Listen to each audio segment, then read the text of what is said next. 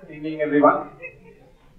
I am Samir Dhurde and very happy to uh, welcome you all to the Inter-University Center for Astronomy and Astrophysics for the public talk that we are having today evening.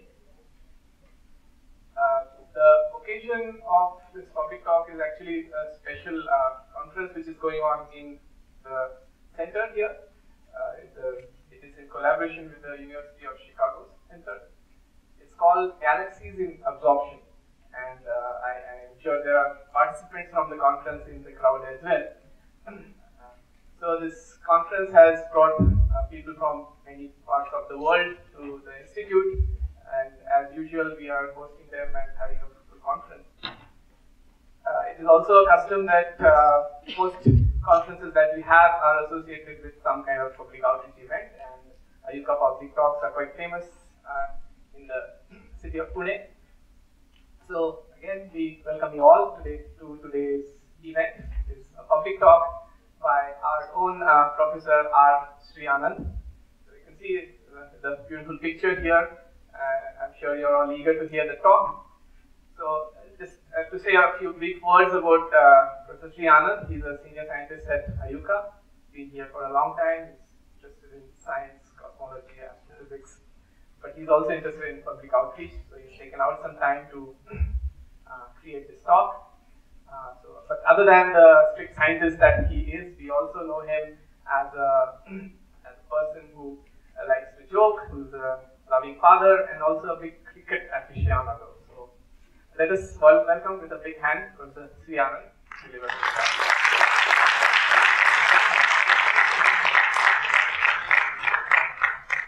While the mic is put on, may I request you all to please uh, make your mobile silent or they want airport mode or something. Uh, we will have a question answer session after the talk. Uh, so please do note if you have any doubts or queries to make address them. Uh, Professor Srianand will address them later.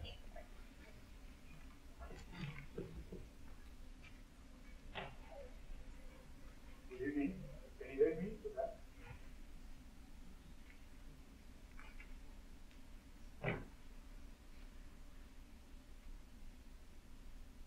Okay, and today we are going to discuss a bit about probing the universe. And I just uh, put a provocative title. It's called Dark Probes of Observable Universe. And I know that whenever you have a general talk, wherever you put dark, you would think that it's dark matter, dark energy, or any of these things. We are not going to do anything about it, right? That's the thing. The second approach is that I call observable universe the main emphasis of this talk is to say that unlike several other physics, universe offer you a fantastic platform in which actually you can take a time machine and go back in time and actually see how our universe was sort of evolving into what we are seeing today. That's what is going to be the theme. Since it is going to be public, I'm going to be as pedagogical as possible. In the sense that sometimes I'll give examples which are very loose. I know that some of my colleagues are around and they should not feel that I didn't understand the basic physics and I'm giving you some examples. The idea here is to give analogies so that you go with the correct impression of what is going on and uh, did not carry some fancy ideas. Okay. So let's start with the simple thing. What uh, what are the things we can I will just give you some numbers for us to remember so that like uh, when I develop the story, you will find it that it will be very useful.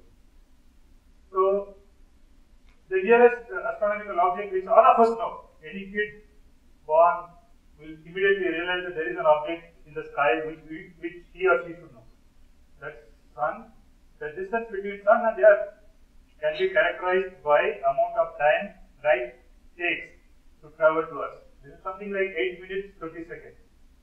So this you will see everywhere. If somebody goes and put a screen in sun, it will take about 8 minutes for you to realize. That's the first thing you have to feel. The second thing is that we are living in a Milky Way galaxy. for example, we are somewhere here, the sun is somewhere here. You can ask how far we are from the center of our Milky Way, right? So basically, you can say it is something like 20,000 years. So if something happens in the center of the Milky Way, maybe we will never know. Not worry about it. So now go to the nearest galaxy. This is M31. It's basically like million years. Okay. The other way of saying is that if I'm looking at uh, M31, I'm not looking at how it is today. Rather, I'm looking at how it was million year back, maybe even before any of these things which we are going to discuss in Earth has happened. Now you can ask, because I have a telescope, I can go and find the farthest possible object with whatever present day telescope I have. How long it takes? It takes something like 13.39 billion years. The other way of saying is that with present day telescopes, actually you are now seeing whatever you call edge of the universe. The first point to remember from this slide, nothing we see in the sky is how it is today, it is rather how it was some time back. Analogy, nowadays you immediately put WhatsApp and talk to people, so instantaneously you know what happened somewhere. In the past, people used to write letters. When you receive the letter, it says that, oh, everything is fine, you're all doing well. It just tells you when they wrote the letter, they were okay. So this you have to remember, right? First thing. Second thing we want to remember is that whenever time is involved, this is this you are laughing. For example, if the letter was sent from somewhere, if the letter takes about 100 years to reach you, you know what would have happened in statistical sense. So it's imagined that whenever you are talking about a travel time, we should also worry about what is the time scale involved in the problem. Otherwise, it doesn't make any sense, right? So, lifetime of a star, lifetime, lifetime of a typical bright star will be of the order of 1 million years. Okay? So now, you see, 1 million years. If you look at M31, if you see, a bright star in M31 of 10 times the mass of sun, what you can infer? You will never see it actually. Right? Interesting. This star, if it is there today, you will not see it. Because the time, travel, travel time is something like this. So basically, whenever you look at galaxies which are there, ideal things you are going to see from these are light coming from slightly mass stars which live for longer time. So these kind of analogy, I just want to give an example. So let's go ahead. Lifetime of a quasar, I will not explain what is a quasar, but it is the brightest object, persistent object in the sky. It takes about 1 to 100 million years. So we have to remember all these things because we will talk about various things as we go on. You would have heard about something like gamma ray burst. It is there for a few hours, maybe one or two days, depending upon where you are observing. So, what are galaxies? Galaxy is nothing but we remember now from now onwards. Galaxy is nothing but collection of all these things. All these things are inside. Stars are there. Sometimes they become gamma ray bursts, right? Sometimes some part of the galaxy will become quasar. So we are concerned whatever object you are seeing in the sky will be part of galaxy. Okay? But in galaxy, these events or these different categories will live for some period of time. It's very interesting. The way you look at the galaxy will depend upon what constitute a galaxy. Right? If you want to say that galaxies are with quasar in it, you will find it difficult to detect a lot of galaxies. This is the kind of things you have to remember. Okay. So another thing, see, if I if I am not making my statements clear or it is complicated, please stop me. I try to go So we now have some sort of understanding of time scales involved. We have some sort of understanding of whatever light travel times involved in it. Okay. Now coming back to observable universe, what you can do with astronomy? You will take a telescope, take a picture of a sky. The deepest picture ever taken by a human being or whatever. A telescope in the space is this, right? Or we can say a deepest image accessible to human being is this one. What can you do with it? Of course, you can put it as a wallpaper in our computer. We all will do. We can also say that different colors are there. That's the thing you do. But if you want to really make a sensible measurement, what you can do? There are few things. I can identify this object, then I can define x-axis and y-axis. That means all of us will agree that unequivocally I can decide where the particular object is. All of us will agree, right? X comma y I will give, all of us agree. This is one unambiguous measurement you can do.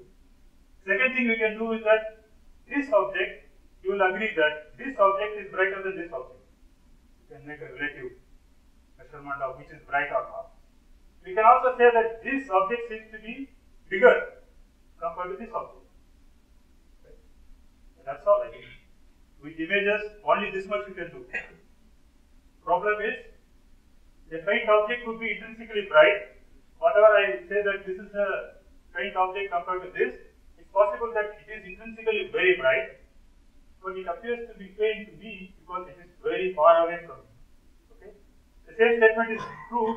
A compact object may be intrinsically extended, but just because it is very far away from me, it's going to remain small. So if you want to do any mapping, you need three dimension at least in our world. The third, third dimension is missing for us. So this is the first point to remember.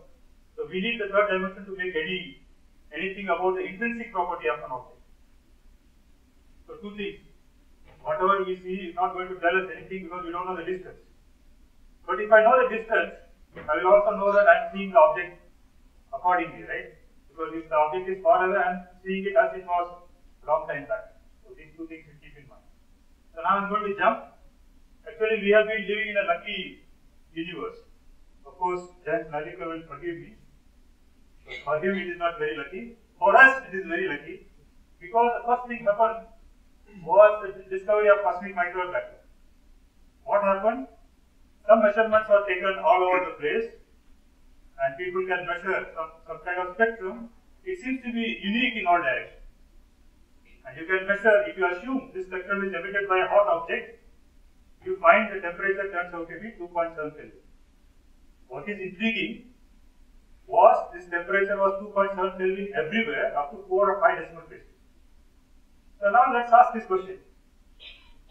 So this is coming from a hot object. Okay. If I want to heat, if I heat a plate, if I heat it completely uniformly, everywhere the radiation comes will be corresponding to the temperature of the. Suppose imagine that I want to produce the same thing everywhere. What will what will you do? I will have the same plate put all over the place. And I have to make sure that heating mechanism which heats this plate to a particular temperature is so precise that everywhere it will be same.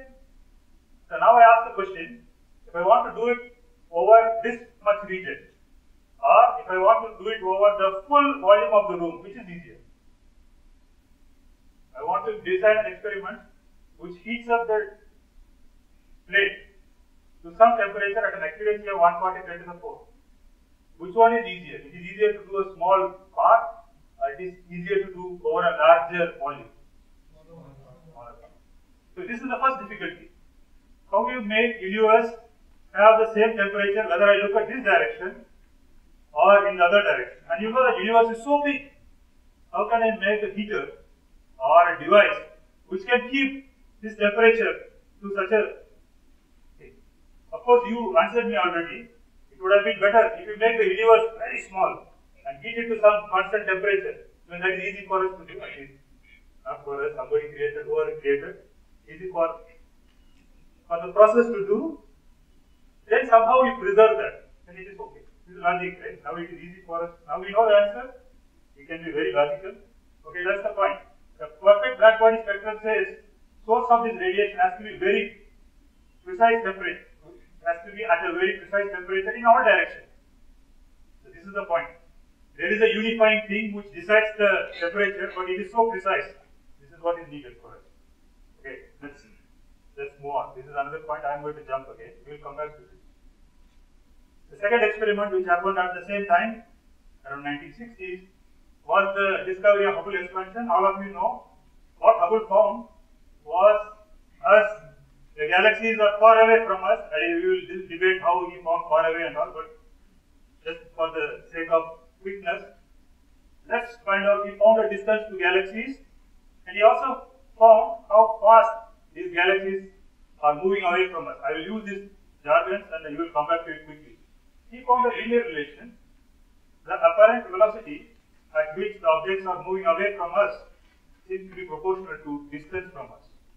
This was very interesting. So, okay, if we were Hubble, we would have said that we are bad people, everybody wants to run away from us. But that should not be the case, right? Okay. So this is the situation. Now let's come back to some of the basic definitions. I will use some slides where we have basic definitions.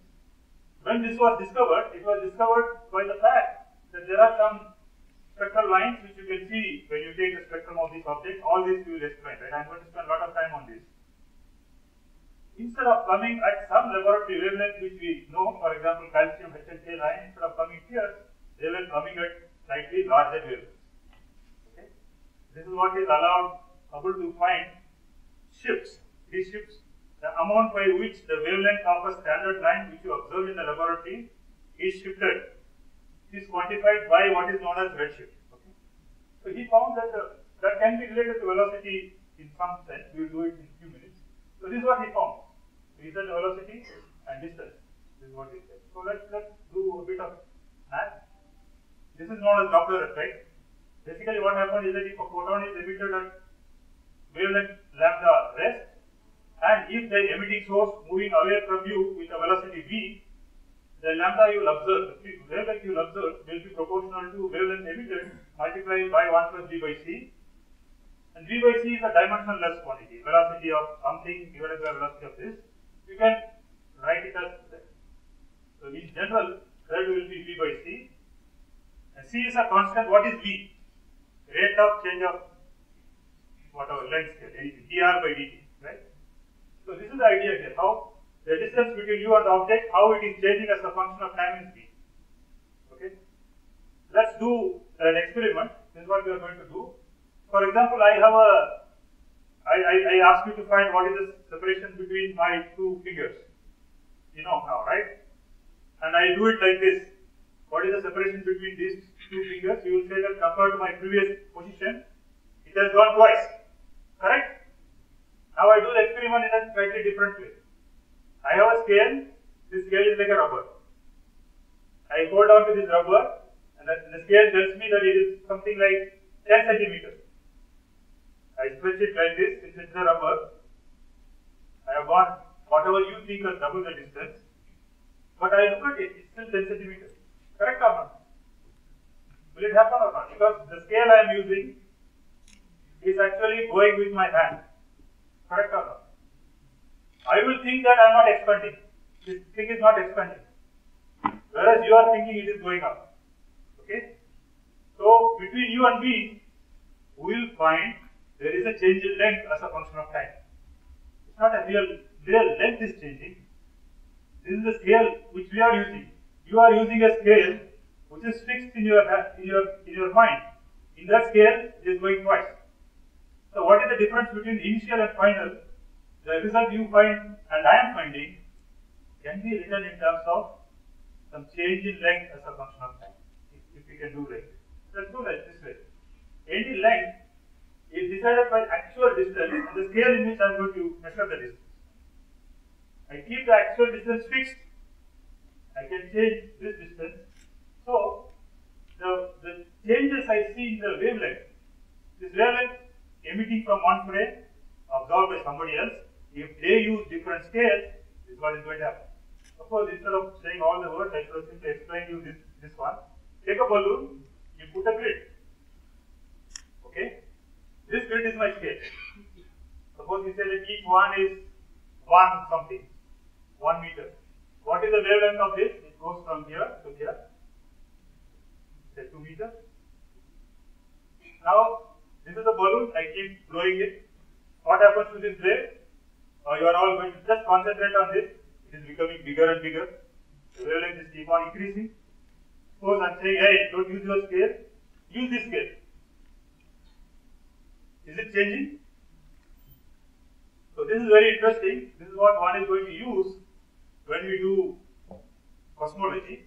The basic idea is that the shift you are measuring is going to just tell you two things. The photon is emitted from distant object. Since it is emitted from distant object, it is going to take a lot of time to come to you. In the meantime, ever since the, the photon is ejected and it arrived at you, the universe is expanded by some amount. What is the amount by which the universe is expanded is given by the ratio. Okay? Of course, now you understand. If the object is very far away, what will happen? It will take long time to come. Photon will take long time to come to you. In the meantime, the universe would have expanded much more. So what happens? You will imagine as if the wavelength is shifted because the stretch wavelength gets stretched by the amount by which the universe is expanding.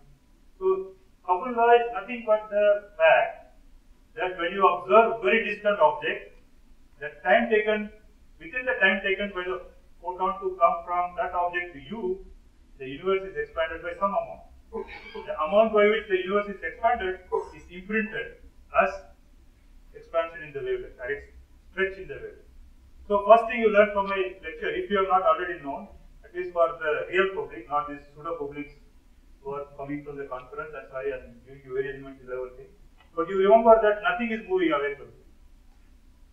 Even to the nearest galaxy, by the time photon arrives to you, the universe has expanded by some amount. This is what you remember. Okay, the first thing you have. So whenever you measure redshift, so redshift can be anything. In this equation, if c is the maximum velocity, this can never be more than 2. But you will hear that redshift of 1000, 2000, 3000, etc. It is possible because any velocity is possible. Okay. What we understood from CMBR and Hubble expansion is that universe is expanding because as you go further and further, universe is expanding. As it expands, you find the wavelength shifted. So now you can go back and ask, what would have, what was the situation in the past? If it is expanding today, I can keep on doing it like this, right? Universe is becoming smaller and smaller in the past, very small in the past. So this gives you, this connects to the agreement we had. If you want to produce a uniform temperature, better you do it when things are small. So it, basically you can connect these two things about redshift and CMBR by saying that universe is uniformly expanding. When you go back in time, universe was smaller and smaller and smaller. If you can somehow create uniform energy in some region and it comes out as the temperature, then you will be able to see uniform temperature in all directions. Up to this, you are with me? Okay. I don't hear any any reply. See, light is on, you can't see. it. Light is on. Okay, so this is what uh, led us to this kind of picture. Basically, you start from uh, uh, from compact universe, nobody know what it is. It evolved into some place. Basically, for for you, you can understand that you want to create everything. Everything starting from electron, proton, all fundamental particles. So I will leave it. It's, it's for some other talk. Basically, what happens is that universe was simply following Einstein's thing. Basically, it's said energy equal to matter, matter equal to energy. So there was no distinction between energy and matter, or photon and matter for long period of time. Since universes keep on expanding, the overall energy goes down. At some stage, radiation and matter decouple from each other. Okay. Whatever radiation which stop interacting with matter is what we call as cosmic microwave background. The remaining universe, you basically see that remaining matter didn't remain quietly everywhere. This actually condensed into various regions and start forming stars and galaxies. Now we are going to spend some amount of time trying to understand how you can actually see the things are transforming from some sort of a uniform universe into the universe which we see today. I'm going to give some analysis and and if you have any question on this, I will come back to it. The, the, the, so basically, this is how it is. If you look at uh, this is the map of locations of galaxies in SDSS, and wherever you don't find any point, dot points means there are no galaxies. Wherever you find this kind of spots means large number of galaxies, including Saraswati. Okay, some people are still awake. Okay, so basically what we want is that the uniform universe which created 2.7 Kelvin or whatever, very precise temperature everywhere, has also created this kind of complex structures today. This is a challenge for, if you are not looking for fashionable answers, you want to really do some physics, This is the problem one is trying to solve. This is not a flashy thing, but it is a hard work to really understand how one can have a uniform universe. Okay. Now starts my title, dark probes. This picture you would have seen before. This guy asked, where are you, what are you searching for? This guy says, I lost something. Where did you lose it? He said, in the next street. Then why are you searching here? Here is a lamp post and the guy is searching. He simply says, oh, I can't search in the street where I lost it because there is no light. This is the problem. Till now, whatever I have said is based on what you can see. We also need probes other than what we see in direct light. This is a very important story, right? If you basically if you see only galaxies, the universe you see is actually the universe in which galaxies live. Of course, you can believe that why should galaxy not live in some place? They can live everywhere. This is what is known as luminosity bias because we are sensitive to detecting light only when it is above some value. So if the light is below some value, you will not detect it. It doesn't mean that the object is not there. Right? So this is the thing we have to worry about. So here is where this simple idea of spectroscopy comes. You have a star, you directly see the star with a with a telescope. This is your direct detecting light. You can detect it. You can also see the star through a cloud. Of course, why you have to see the cloud, you'll see in the next slide. We could see clouds. So you will see something, this light will be there, whatever light coming from the star, but select portion of this light will be removed by this gas. So basically what happens, these photons are the light which is coming from these objects. Basically when they pass through atoms, atoms absorb some energy. This is like our uh, tall buildings, right? You live in segregated buildings. So you can you go if you want to go from ground floor to first floor, you need some electricity and lift. Exactly like this. You can whenever electrons does that, they remove some amount of energy from the light which is going through this cloud itself. But you also know we are also having this thing, we can climb the tree or whatever spending energy Usually where we are comfortable, we are comfortable in the ground. Right? So whatever happens, we will come back in the ground. So the basic idea here is that the photon which is coming here gets absorbed and it doesn't come to you. So these dark lines which you are seeing is nothing created, it's basically something which is not arriving at you. But what happened to this? This photon doesn't, which is coming towards you is gone, So it doesn't stay in the cloud itself, it comes down and it comes out in all possible directions. What is the analogy again? You go from here to our chowk or one of the chowk. Lot of cars will go like this. I think best example is Bremen chowk. You go like this. You can't go beyond the chowk because there is no way. If somebody is staying in the colony, they will think that no car, car is coming, nothing is coming towards them. That is absorption. But it doesn't mean that all cars are gone. Some is going towards Bombay, some is going towards city center This is precisely what happens in every cloud. A photon which is coming towards you is lost, but it is uh, the traffic tool is redirected in all directions. What do I mean by that? Instead of seeing here, if I sit here, I will see large number of photons coming towards me. What are these photons? These are the photons which are absorbed by this sky coming from here. It's very interesting. The emission is nothing but it's like a traffic light. It's called in physics term it's called scattering is one of the scatterings which you can think of. Okay? So it's interesting. I may not see this cloud directly. When I look at something behind, I will see as if something is missing here. Whatever is missing is present. So I will be able to actually detect the presence of a cloud by just looking at a star. Of course, I am sure like some of you are thinking that, what are you thinking about us? You know all that all the time. You go out now, you don't see any stars.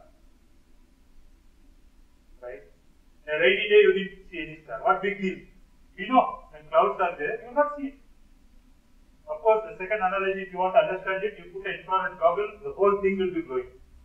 Even though we are not seeing any starlight, you will see this heated gas.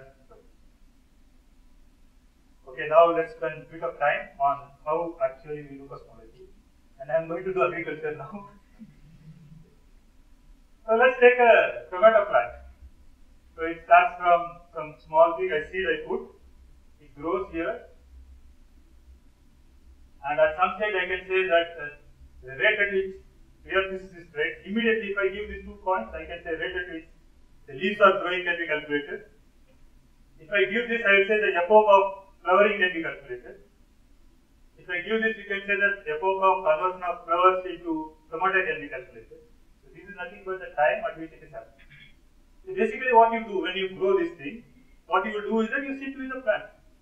Let plant grow, it has fruits, it has flower, do it. Let's do something different. Somebody said, maybe Modiji says, that today, like Yoga Day, he declares that it's a tomato day. so every city, everybody is given a tomato seed, and at a precise time they put a tomato seed and they have been given that they have to water every day. Okay? So with an idea that every day is going to grow like this. Okay? Everybody. Who Poor Srianand starts from Chennai. He says that he wants to go to Pune. What is what I have? I can walk. Only condition is that I'm going to walk. Will be cycle. Okay. Okay, I want to reach Pune over a time taken by this flower to reach this stage. This is the static condition we have. I walk some distance. Every time I reach some distance, I go to some guy's house and eat curd rice, because otherwise I can't walk.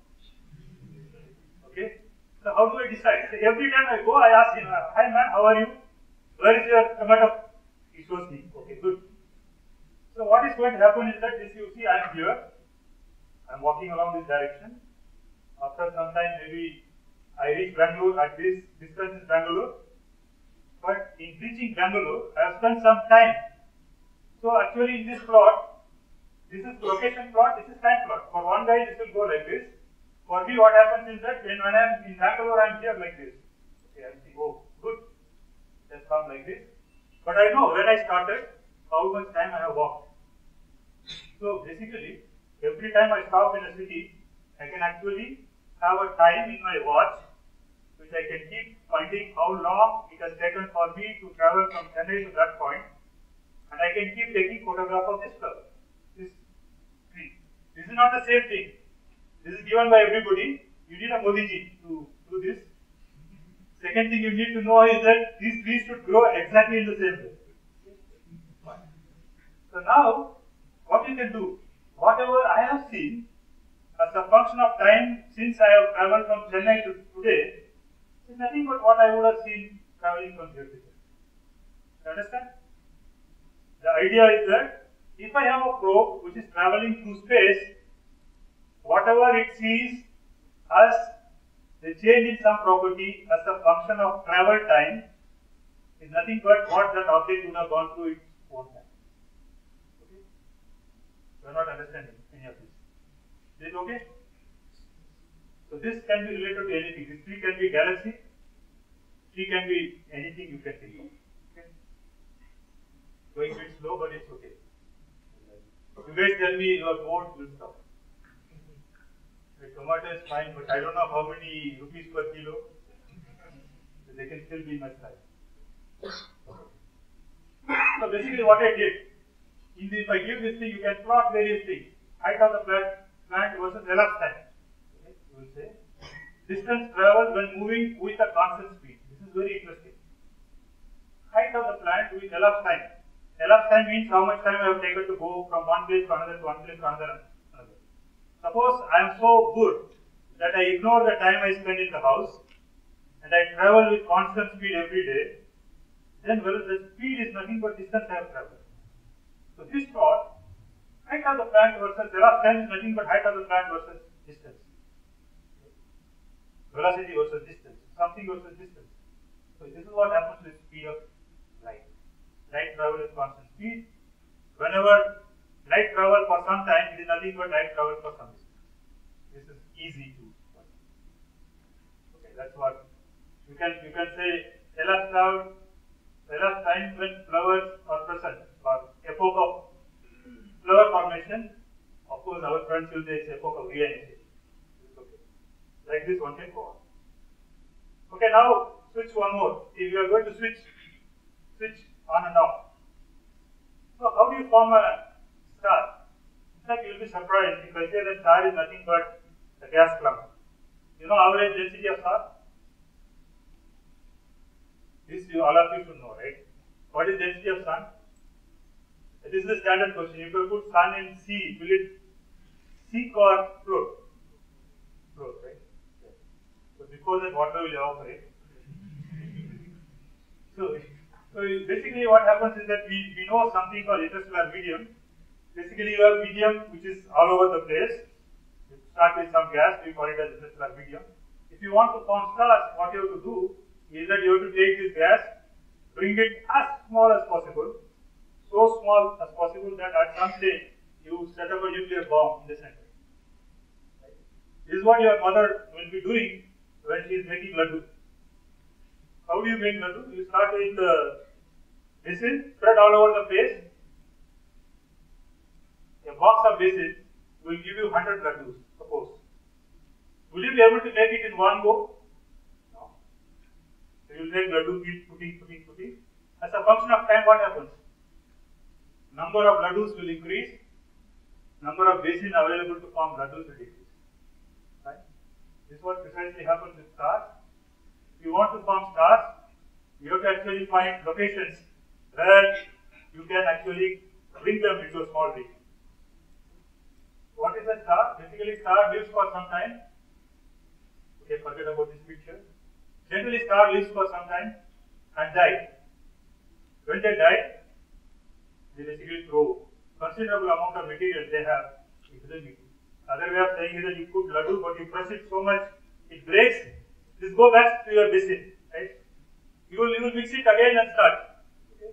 This is the analogy you have to remember. This is how we form stars. So if I ask you, what is a galaxy? You just remember, it is the vessel in which you start making, making whatever you call laddus, right? Basically, you will have gas which is present. You will start making gas into star, right? You will not be able to convert all gas into star in one go. You will be converting slowly. So in the beginning, it will be only gas. As time progresses, you will have more stars. But you are not a perfect builder of stars. You will build some stars in a hurry, which will be very big. They break into something and come back. So it will go like this. Okay? So now, go back to tomato. This is the interest we are, in, we are into. Start with the tree. Tree is like starting with this flower from which you are going to make something, right? So this is back in time. So how our universe would have created stars? It would have started with large amount of gas. To start with, as a function of time, what happens? Gas will become more and more stars. You will have more stars. At some stage, you will have only stars, no gas. Correct? As a function of time, what you can say? This is related to the function of redshift. Correct? So long time back in time, the whole universe was gas. Long time back in time means what? Very high redshift. So basically this is the idea here. Suppose if you want to see how galaxies are evolving, what you want to see? You want to see huge amount of gas with very little star somewhere. As a function of time, gas will keep on decreasing, stars will keep on increasing. Are we seeing it? Of course, you can see stars, but how will you see gas? Do you think we should see gas or not? Question. Very good actually. I am happy that what I am doing is useful. The same thing happens with galaxies. Now we say that like okay, we know that once I give you some amount of gas, you know that how to convert gas into stars and things like that. These are confined to a region called galaxies. But how do you get the galaxies to start with? The universe is much bigger bowl. You can think of like gathering material into small, small regions where you can start forming stars. So this is another process we have to worry about. So there is interesting connection is that you first gather, this is what is known as intergalactic space, you gather gas into a smaller region, right? Then this gas you try to convert them into stars and whatever you see today in light is created like this. Okay? Of course, this gas, when you are dealing with it and producing stars, it can also go back into the place where you are starting from. So, in simple terms, the whole place is give and take. If you start at large scale, if you take a galaxy, how much mass is in a galaxy? It will be some mass for some time. This mass is trying to go into star. Some mass may go out of the galaxy. Some mass may come into the galaxy. So, evolution of the galaxy depends on how gases flowing from some outer region to the region of my interest. The evolution of stars is within a galaxy how I am transferring gas from star to star to gas. So this is what we are trying to do. This conference which is happening here, basically what we are trying to do is to see where the gas will go very deep in space. We look at the universe as far as possible and try to see like how the gas is converted to stars and how stars are evolving as a function of time. Okay, how do you do it? Of course, the same experiment you do it in a different way. You know that if I want to detect gas, I have to have a background, some object which is far away, and I have to look at it. So here is an example. So you look at some object known as quasar, let's not worry about what is quasar. I want an answer. This 0.158 is a redshift. What does it mean? The light from this object has started when the universe was how many times smaller? If it is Z 1.1.5 times smaller, right? It's very nearby. If I take this Z of 3.6, the universe was 4.6 times smaller. So, which place the photon has traveled the largest distance? This or this?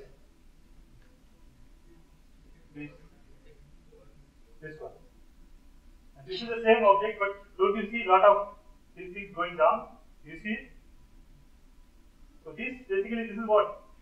These are the photons which are removed from the quasar itself or distant object itself. Don't do anything. This is the nearby object, this is far away object. Do you agree or not? Which has more absorption? Is it logical? When something is far away, you will have more absorption. Is it logical? Okay, so this is what we want to quantify. What is the amount of absorption? Thanks to Pasquier, he's given me a movie where you can actually see that this is a photon which is moving, and as it moves, whatever material is there, it is absorbing because you see, since it moves, the actual frequency is changing, right? So you can see a bunch of photons thrown towards you, and as these photons come towards you, you can see that when they hit different different regions, different kinds of absorptions are produced. For example, here is a galaxy. When it touches passing through the galaxy, you will find some signatures of strong absorption produced by this this galaxy. So basically, what we are saying here is that whenever you have a source, bright source, is far away from you, the light from it is passing through all sorts of medium. It can pass through a galaxy, it can pass through the gas which is between galaxies, right, and, and, and reach you. And you will be sensitive enough to detect each of these small gases in the form of absorption. Okay, this is too technical, right? Let's understand. We have a telescope. I think this is the bottom line you have to get. We have a telescope. We can detect absorption means small amount of gas which is present in the in between us and an object you can detect. I think you should have some appreciation of these numbers. Brightest object, sun, can be completely obscured by gas in a cloud. You agree? Cricket match can be stopped. Cloudy morning, no light. So what is the thickness of the cloud? You would have gone in uh, aeroplane, right? How big is this? 200 meters. Maybe, right? It can stop light coming from the nearest object, brightest object to us. And what we are saying, we are going to detect an object which is going to take millions and billions of years to come to you, still you are going to receive it. What is the conclusion from here? The amount of gas particle between you and that object when there is no cloudy night is equal to amount of objects you see in the cloud itself. Don't you realize how thin the space is? No, you don't realize. So the weakest absorption, hydrogen absorption we detect, how much gas we need to detect weakest hydrogen absorption in space, which we are doing with the telescope. Okay? Take the best possible vacuum. You know what is vacuum, right? Best possible vacuum ever created in Earth and spread that vacuum between us and Mumbai. The number of atoms in that is what we can detect in space, is something like billion years away from this. It's very interesting for us. The strongest absorption one detect correspond to, you take one centimeter of atmosphere. How much absorption it will produce is what we call as strongest absorption. So you can clearly see that basic people. Right? We are basically talking about something which is absolutely of course, if, if I can make a tunnel between here and Mumbai with vacuum, I know who will be very happy.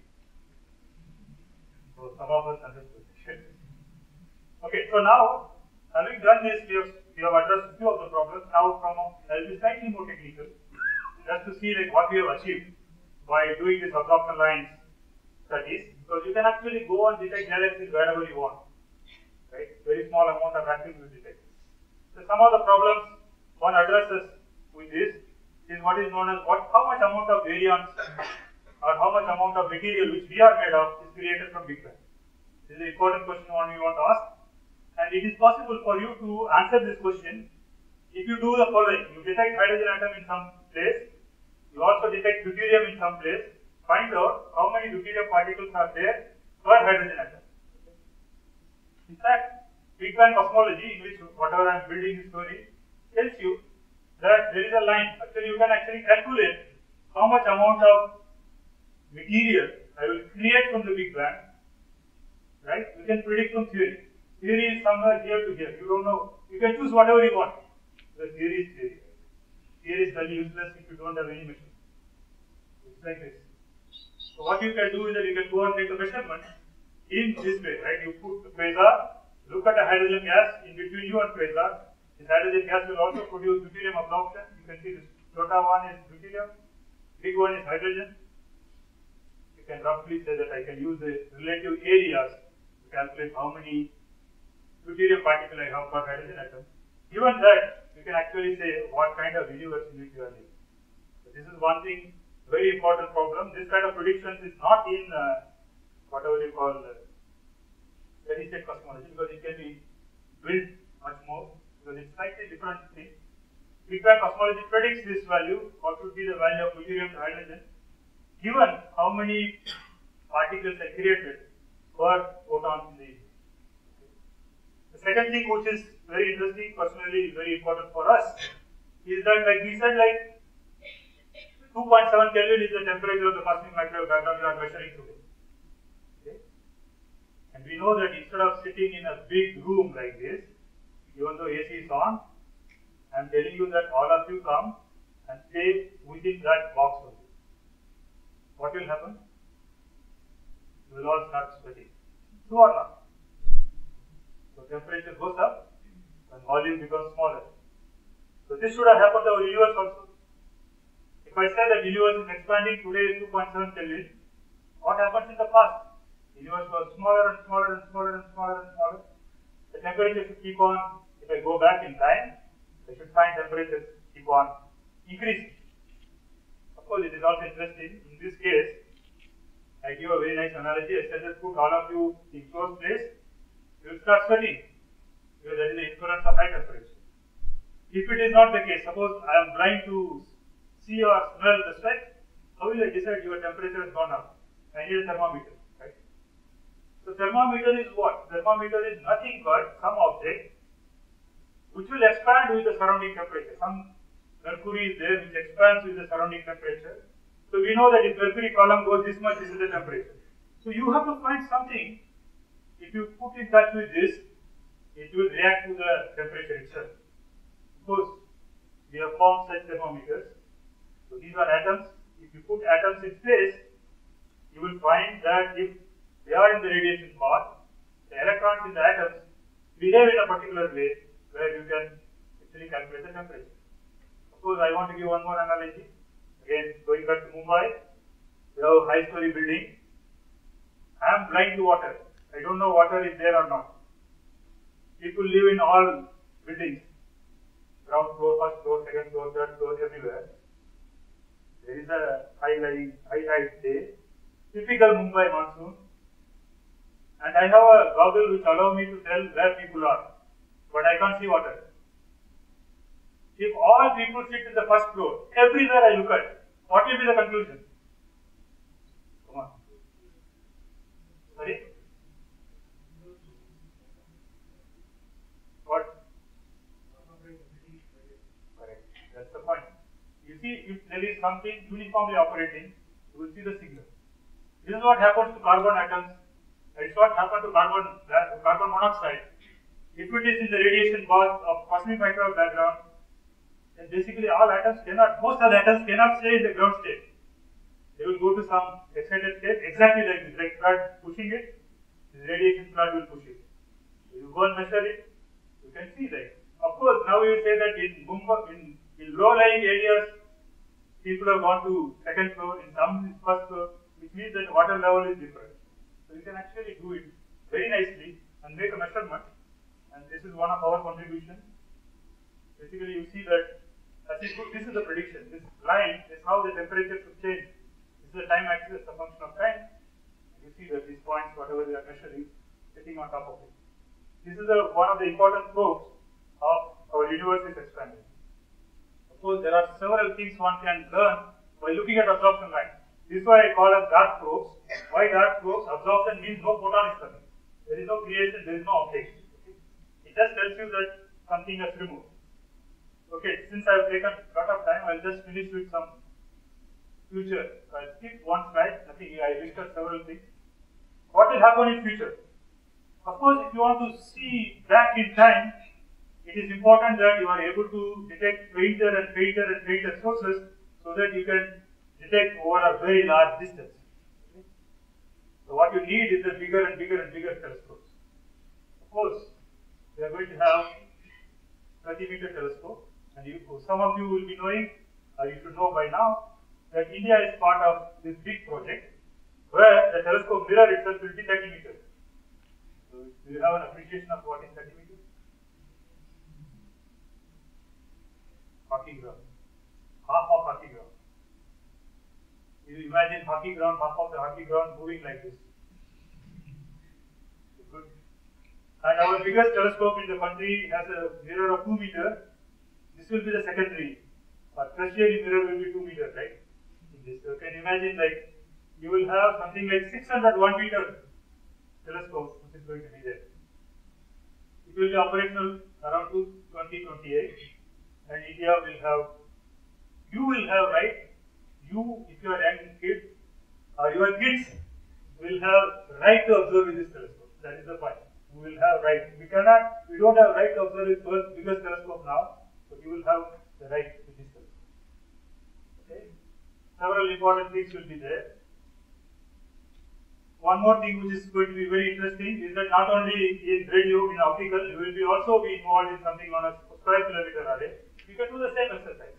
Photons can be absorbed in any wavelength space. It's not and so square kilometer array is another project. This will be the biggest radio telescope operating at the same time. So you will be able to carry out absorption and emission lines using 21 centimeter and OH lines. This is what GMRT is made of. What is the size of this telescope will be? Have you visited GMRT? Have you seen GMRT? Yes. Is it big or small?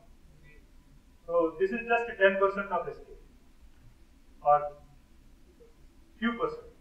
So is correcting. So you will have something like 30, 40 times more than GMRT, that is SK, if you remember that. So you will be able to do a lot of interesting science with it. Okay, I'll just uh, conclude here because the science I listed, but I'm sure that you, you, you get a feel of what I'm trying to say.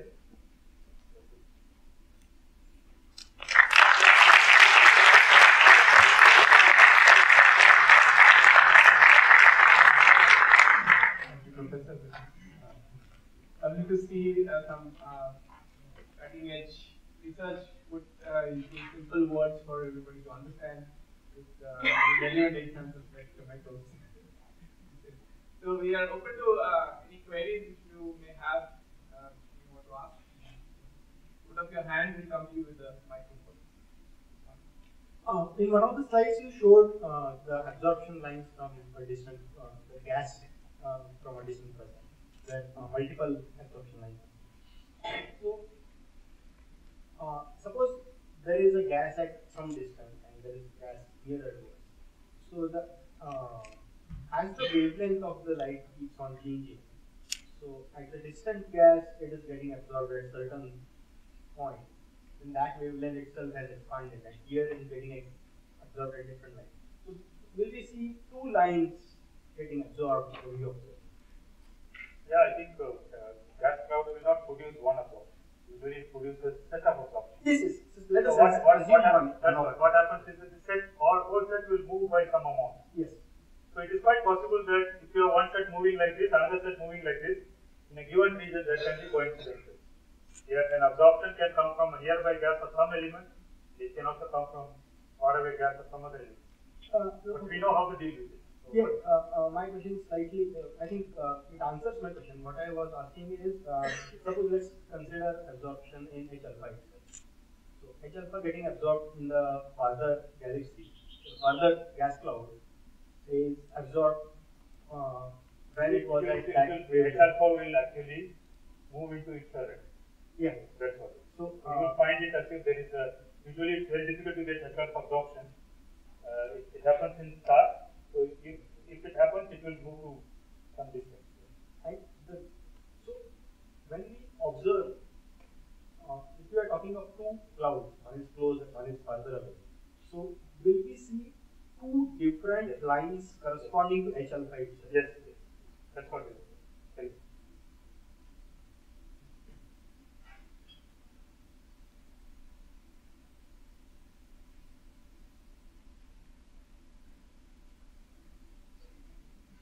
Hello, sir. Uh, you talked about redshift. So you said that uh, uh, as the distance is increasing, uh, the uh, due to the redshift, uh, the universe is expanding. Okay.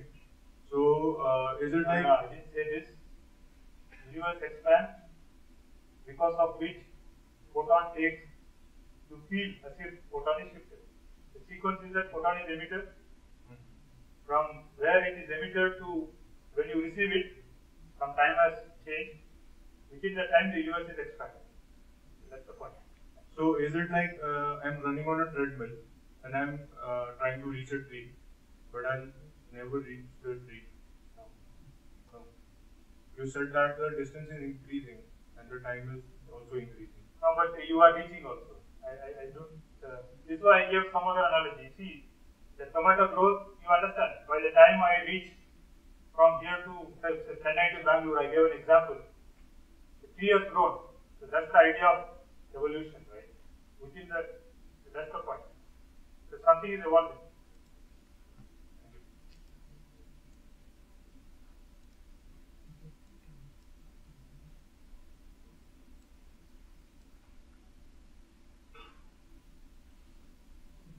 I'm very happy that everybody understood.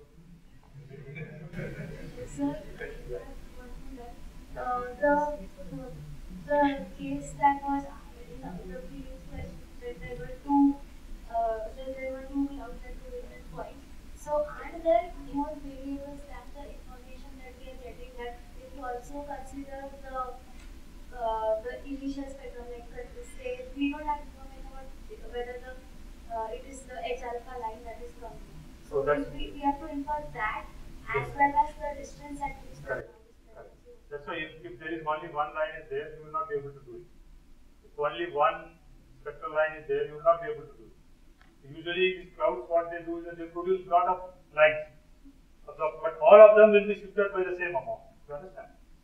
So you will, when you look at the spectrum, you will find group of lines which are shifted by some same amount. So you are right. If, if I don't know a line, if I identify the H alpha, I will find a distance. If I say H beta, I will find a distance. But you remember, when you have H alpha, there should be H beta. You can do like that. So you always have two lines. Uh, I have a question. You said that uh, to actually see the spectral lines, you need a screen of a bright object. So, supposing it's a star, uh, the star will also have absorption lines, right? there will be absorption lines of the elements in the star as well. So how do you how do you differentiate between the absorption lines caused by the elements in the stars and the elements in the gas gas uh, gas if there is no relative motion between the absorbing gas and star, it, it is difficult to distinguish. There are ways of distinguishing it because the star spectrum will be different. But your question is very valid. Gas is here, star is here, I cannot do. But what we are saying in this case, quasar or something is very far away. Because of which, if the absorption is produced in the quasar itself, that will be shifted by larger amount because it is far away from me. So the same absorption, this part is the question, same absorption or emission will not come on the same wavelength. You can have, you can decide that all gas will produce only hydrogen absorption, but each gas will produce one absorption because they are separate. So this is why I said that we are extremely lucky. If you don't believe in Big Bang cosmology, you can't do anything or any of this. Because the third dimension comes because of this. Otherwise, you don't have idea of doing this. See, that's where this uh, steady state is a is an open system. You can do what you want. Whereas in the thing it is.